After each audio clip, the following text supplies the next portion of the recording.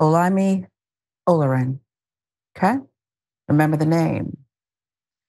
Because they eviscerated Eric Adams on The Breakfast Club. I need to set the scene with the first clip commit a crime and you're rearrested, that you uh that you bail can and will be set on you. So that's the first thing. Second of all, they have conducted multiple studies, but the Brennan Center literally just put out one. Less than two percent of anybody in New York City that's released on bail is arrest rearrested for any violent crime. More importantly, in I'm the same about- I'm not talking about in the same breath that I'm we want in the same breath that you want to sensationalize me, want to highlight and point out, oh, an officer was killed uh, the other day, which is a rare occurrence across the United States, but let alone in New York. New York police officers have killed at least seven people this year, including a First- first- 19 year old first of all- and first of all- NYPD all, officer killed a 19 year old in to Queens yesterday. I'm not going to dismiss the loss of a life of an innocent person that wears a uniform to protect us. But you do, us. of the 31 people rare- dead at a rare- Rikers, a rare and the 19-year-old killed rare yesterday. I've- I've- I've- I've- I've- I go visit those parents that lose their loved you ones visit? Are Now, you visiting do the that? family of do the? you do that? First of all, yes, I did. I held a Riker. You- I, I represented You hundreds. went to visit. You went to all- visit an- of the family members of a slain officer. No, not the slain officer. Okay, of course you No, but what about the mm-hmm. 19 year old that was killed yesterday by mm-hmm. NYPD in Queens when he called for help? Have you said anything about that? Are you visiting them? Yeah, the the the. Hmm. but, but that, and so on. And so uh, she goes for Olay. She goes by Olay for short, and she brings receipts. I don't even know she was looking at notes just off the top of her head. Okay. I like to show up sometimes like that when I do a debate because the candidates think, oh, this will be easy. She doesn't even have any notes. They're up here. I do. Okay. with millions watching and many people benefiting from this program called Indisputable. We just need 1% of the viewers to become a paid member so we can continue to bring this content to you. Now back to the show. So anyway, New York-based attorney, activist, political commentator Olay has long been critical of New York Mayor Eric Adams. Was able to call him out to his face on a public platform like the Breakfast Club. The 19-year-old that Olay was referring to, Win Rozario, NYPD cops fatally shot the teen in mental distress who was wielding scissors inside his Queens home Wednesday after he called 911 on himself. His family now calling for justice over what they believe was a wrongful killing. Uh, but Ole wasn't done. Fear mongering was also top of mind. So let's take a look at that. There is a difference between perception and fact and how people feel about safety and the way people feel about the subways. And I think it's your own rhetoric about the subways that has a lot to do with why people feel scared, despite the fact that millions of people ride the subway every day without incident. But you've continued to fearmonger about crime in the subways. You've added 2,000 police officers, despite the fact that you've acknowledged that the subways are not that dangerous. And I think there is, you're right. Poor New Yorkers should not be the ones who bear the brunt of this, but they will if they already have the subway being turned into a place that they have to fear, that there's a national guard, that there's a hyper visibility of police, that they're trying to stop people with certain uh, records from even using them, and now you have this congestion price. So how do you reconcile that? Well, let's let's go before. Uh, first of all, I would love to give me give me the quotes on my rhetoric because I'm I'm lost on that. Can you give me the quotes? Oh, that you what- fairmonger yeah, about yeah, the subways? Yeah, give me. oh, the- you've consistently done that since the day one of your administration. One of the first things you did was add a thousand officers to the subway because you claimed that the subways are unrideable. You and Hochul did this and said how dangerous it is, and you recently did that when you deployed the National Guard. If you are saying that New York is the safest city, it's one of the safest big cities in this country, which is true, and you're recognizing that the subway stations are in fact not half as dangerous as they're presented to be, I'm saying how do you reconcile how your rhetoric has played into people's fear? Okay. About Mayor Adams, I'm not going to ask her any more follow up questions. It's not in his best interest. Don't ask her any more follow ups. Get in, get out. That's what I would have coached him to do. I wouldn't be working for him anyway, but somebody should have coached him. Don't ask her any more questions because she's going to keep going. How about stop and frisk? The federal monitor, who is tasked with ensuring that NYPD is following the law, conducted or under- conducted under an who? analysis. Came under who? Conducted an analysis that happened eight years ago, but they're still here monitoring what you're doing. And they said that you have brought back stop and frisk policies that are worse than they saw even during the Bloomberg era. But more importantly, they analyzed Sister, the neighborhood putting out- They show me that. I could show you the, show, the report is said- available, and I know it's been available to uh, you because your spokesperson has commented on it. They did an analysis of over Yeah, 10 precincts. You can't keep putting out 10 different precincts. factual, That is sister. factual. There's a federal monitor reporting to Judge T. Swain on it and And presenting said the what? That information. be, they every- said that yes. Listen, let me finish the- so you can peel it back. They conducted an analysis of ten different precincts, Mhm. and of every of the stops of ten different precincts, they found that ninety seven percent of them, by the way, of the neighborhood safety teams that were disbanded in 2020 because of their disproportionate abuse against Black and Hispanic people that you revived, they analyzed ten of those different neighborhood safety teams and found that they're conducting ninety seven percent of their stops on Black and Brown people, and a quarter of them are unconstitutional. That's what the federal monitor said, not me. Yeah, yeah. Y- y- Okay. Well, she's on a roll. And so I need to moonwalk back. The advice I would have then given the mayor, Eric Adams, is just compliment her. Tell her how great she is, how smart she is, and how he could really use her in his administration. I can assure you that's not going to work, but it might have at least put her flat footed, not on her heels, flat footed for just a beat so you could catch your breath. Just a beat. Uh, but he didn't do that. He was flustered. It sounds like she's the only one on the show. Where's Charlemagne? Where are these other people? They're apparently just eating Danishes, taking a coffee break because she's got it, including about um, hmm, homeless encampments. All I know is when I came in office and I stated that I wanted to take, I'm not allowing people to sleep in tents on our streets. They're going to get the care that they deserve. The far left attacked. me. No, we, I we know attacked you because you stated you, dem- you made it so that that people could be when I stated involuntarily committed. People, yes, invol- listen. If I'm sitting down with you, brother, and I'm in a tent with you on encampment, and I'm seeing human waste in the corner, I'm seeing stale food, I'm seeing drug paraphernalia, and I'm hearing you talking about you only here until the spaceship comes to take you to your next planet. You need to be involuntarily committed. Didn't I just say about sensationalized kinds This, of no, stories? this is what I saw. did it happen? This is what I Oh, you did? saw. This is what I saw. you were there when I round, when because I the went activists that were actually city. there at the encampments you had torn down. You The weren't there, but they were there when People they were being always- arrested. people are- Just last year, we paid out 150 million dollars in settling Uh, police uh, misconduct right. from And NYPD, should, and we- that was if we do double the wrong. number. That's double the number in police Yeah, misconduct but- since you became mayor. I'm, you know,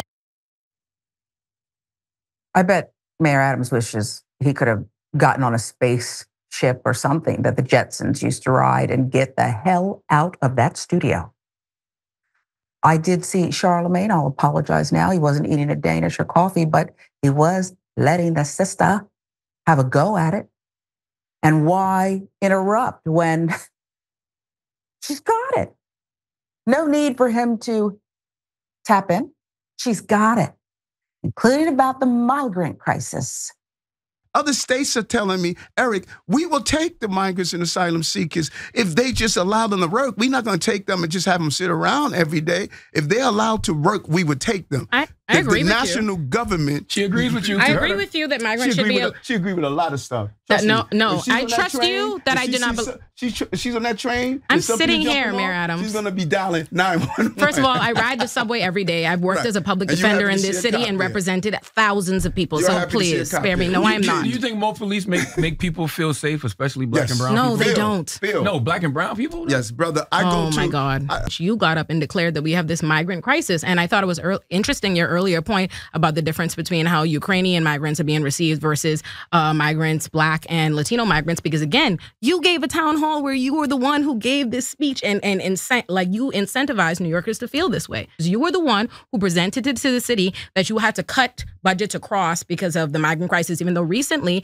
you, uh, you decided that you all actually do have the money to handle the migrant issue. That just wasn't publicized as much. No. So this goes back to my original sister, discussion. You know, sister, you're an attorney, and you. I, I'm amazed. I think your art is. I'm just going to throw it out there and, and make people feel Mayor that Adams, way before you towards say it, there's an entire You know, council she ma- listen, council that knows you're let lying. Me, let me,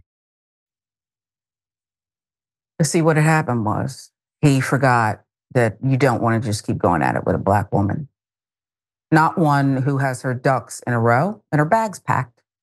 It's finished. It's not going to work out for you. And you certainly don't want to talk about her to a black man in the room while she's sitting right there. Abort, abort.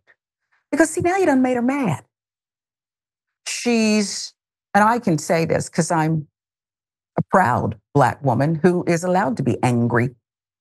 Now you done made her mad. You're calling out her integrity, her character. So she has to hit you with perhaps what is the best argument, best for last, perhaps. What about the FBI raid on your office, Mayor? I went to the southern border to understand the problem. I But remember you is- started that yeah, tour yeah. before you were going to go to go DC, Yeah. and you, uh, when you were going to go to DC to Biden to talk to Joe Biden about the migrant crisis, but you were stopped because they had the FBI had to take your phones. Uh, Good Lord, you just make up stuff. And did I make that up? That's Yes. that's reported. Sister, the FBI didn't seize your phones. Sister, The FBI didn't seize your phones. No, but they didn't you- investigate no, your top you just- aides. That's what- not happening. What did you want you to understand? I want you to understand the hypocrisy Mm. of people. When the law enforcement does something every day, it's bad. But when they do something against Eric Adams, oh, it's good. you know, come no, on, let's I didn't up say that. mind. I said what happened. I didn't say that it was good. I, I don't think it's good that came our mayor is being I- I investigated for illegal I campaigns. I don't think that's I good. came Even I know your phone was taken, Mayor, and they they are looking into some folks about some things and money, perhaps at the root of it.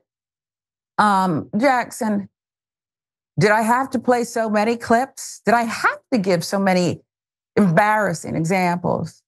Yes, because it's fun to do and it's enlightening. Do you, and I do want to hear what you have to say about all of it, including overall the mayor.